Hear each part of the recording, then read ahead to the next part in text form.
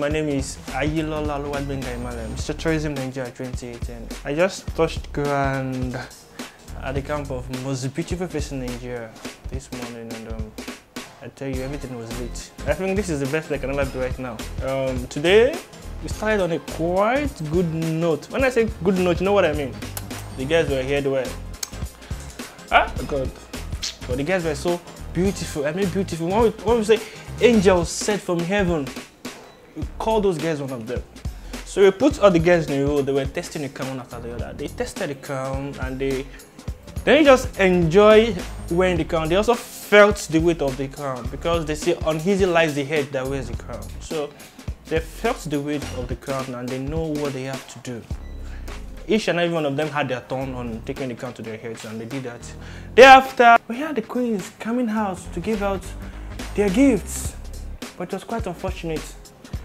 Maybe some left theirs behind when they were coming to camping or they didn't know the importance of giving gifts. As a queen, I must mention, charity is one of the things. Helping people. You don't just wear the crown for the luxury of it. You wear the crown for a certain form of responsibility which you must keep up to. You have a duty to do. We didn't stop at that. We took a step further to check out our dress sense. The hadith says, the way you dress is the way you'll be addressed. So we have to check that out to make sure that, okay, our queen actually did what we expect them to do. Let me tell you something, those guys are fabulous. They are fantastic.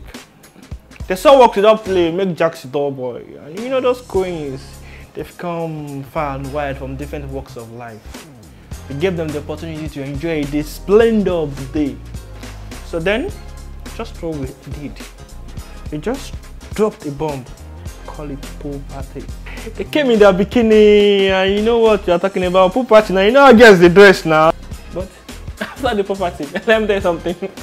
you only have one hour to rest. I was a victim once. I pity them. I know what it takes. I know the feelings, you know. But this is it. We must scrutinize them to give Nigeria the best of the best. Trust me. Whatever we're coming to is the best you can ever come to. Mr. Zanzy.